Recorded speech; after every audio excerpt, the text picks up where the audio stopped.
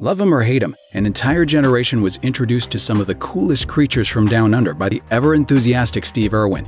The world knew him as the crocodile hunter, but it was the kind of hunting most animal lovers could get behind. The world's animals lost one of their biggest cheerleaders to a tragic accident in 2006, but his work is still making a difference. Let's take a look at the man in khakis. Whew! Danger, danger, danger. Not quite fearless.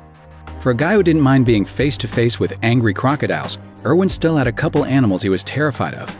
In a 2001 clip, Irwin can be seen paddling down a river in Zambia when he comes across a group of hippos. According to Terry Irwin's voiceover, hippo groups aren't just dangerous, they're unpredictable.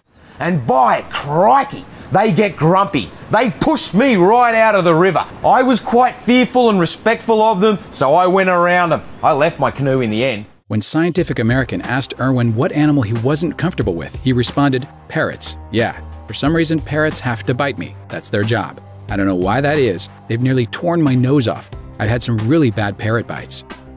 No antivenom. In a 1991 TV appearance on a local kids show, Irwin had just finished explaining why his non-venomous python won't bite him when things took an unsettling turn. He can't eat me, and he doesn't feel scared. uh, Um, he doesn't feel I don't scare him, so he won't bite. Um, you might have to cut him. He's biting my neck. Serious. With bites coming so unexpectedly, you'd assume Irwin would have traveled with a stash of antivenom, but according to what he told Reptiles magazine, he never carried any with him. His reason? When I grab a hold of them, this karma exudes through my fingertips into the animal, and they feel a lot more comfortable and I don't get bitten. And I take great pride that I don't get envenomated. I don't carry antivenom, never have, never will.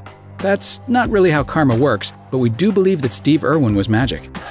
We call these ones bitey. Ow! Okay, nice. You just bit me on the arm. Yeah, you have an little hour to live. Uh, Complete support. When Larry King talked to Irwin in 2004, not much time had passed since Siegfried and Roy's famous Tiger Act went bad. Horn was attacked in the throat by one of those tigers, lost a huge amount of blood. Reactions were mixed, as many people didn't think it was appropriate to keep wild animals in that kind of environment. But Irwin said it was nothing short of tragic and chimed in with his complete support of acts like theirs, explaining, They did what not many people can do. They got tigers into people's hearts. I believe that the time has come where if we don't get animals into people's hearts, they're going to go extinct. We're running out of time right now. Ouch. It wasn't until halfway through his Larry King interview that Irwin admitted that his collarbone was currently broken. He said that though he had an almost magical ability to communicate with animals, he did get hurt quite a bit and told a story about breaking a finger while catching crocodiles. His finger snapped at the knuckle, and he said he just wanted to cut it off, but certain family members weren't so thrilled with that idea. But my daughter said, Oh, please, Daddy. I said, No, it would be great, Bindi. We'll have a little pet daddy finger. Over the top. No one talks about Irwin or his work without commenting on the over the top insanity that made him famous. Woohoo! Our first big cats have arrived. Yep, the tigers are here. It's what makes people love him or hate him, and according to what he told Scientific American, that was the idea. It excites them, which helps me to educate. I believe that education is all about being excited about something. So if we can get people excited about animals, then by crikey, it makes it a heck of a lot easier to save them. Irwin said that he knew people were more likely to become invested in a conservation project when they were emotionally invested in the animals. So he made it a point to share his own crazy, zany enthusiasm, and it worked. Tragic truth. Irwin somehow seemed completely invincible, and his bond with animals made his passing seem that much more bizarre. The footage of the tragic event was given to Terry Irwin and never broadcast. In 2014, his cameraman Justin Lyons revealed that he and Irwin had come across a giant stingray that unexpectedly lashed out at Irwin. Lyons said he hadn't even realized anything was wrong at first, as he had been focused on the stingray.